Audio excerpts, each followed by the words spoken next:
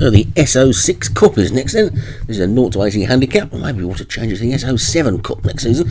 It's a 1 mile 0 to 80 and the top one is for 3 odds as well. Top one is Follow You Mark Jones, Kingscroft Homer, Dan Hughes, Storming Pete, Alex Cherry, Down to Earth, Martin Lidham, Tamadot Hitchens, James Shea, Uriah Heap, Martin Lidham, Paolini behind John Seaford, Marapi Maggie for Alex Cherry and Shalimar Faze for Thomas A. So just 9 in this then. And back on grass. And they're all in.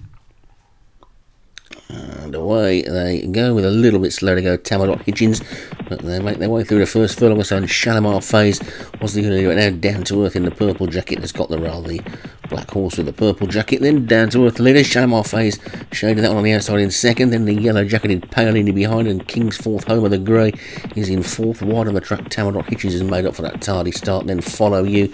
And you Uriah Heap the second. Purple jacketed horse on the inside. Alex Cherry's got the back two. Storming Pete and Marapi Maggie. So they're already down towards five and a half furlongs from home. Then and Shalimar Faze is just about the leader from down to earth in second. Paolini behind is third, and then Tamadot Hitchens is fourth. And the grey comes King's fourth Homer. With Uriah Heap trying to push his way through on the inside. Follow you. He's on the outside, and the Alex Cherry pair are still at the back looking for the best way around. But it's Shalimar Faze in front from down to earth on the inside second. Paolini behind looks to be going well at the moment. One or two of these looking for racing room. And around the outside is Follow You. That one appears to be going really well and is now sweeping through the challenge for the lead. It's Faze down to earth. Follow You. Kingscroft Homer. Uriah Heap. Paolini behind and Storming Pete. They're all in with a chance here and down to earth now.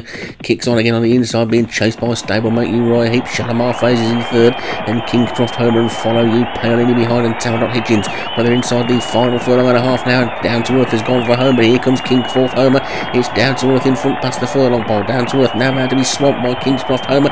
Uriah Heap and here comes Follow You. Now Follow You coming through with Kingscroft Homer and Uriah Heap. It's ahead. Bobber as they race up towards the line. Uriah Heap closest to it. The grey between the two. Kingscroft Homer is just taking it though, I think.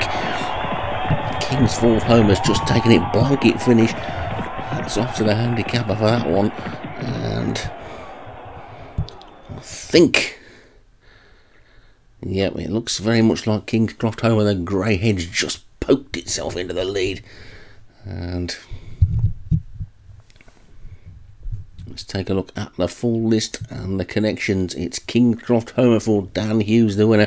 Follow You for Mark Jones in second. Uriah Heap for Martin Lidham third. Tamadot Higgins for James Shea was fourth. And Down to Earth was fifth.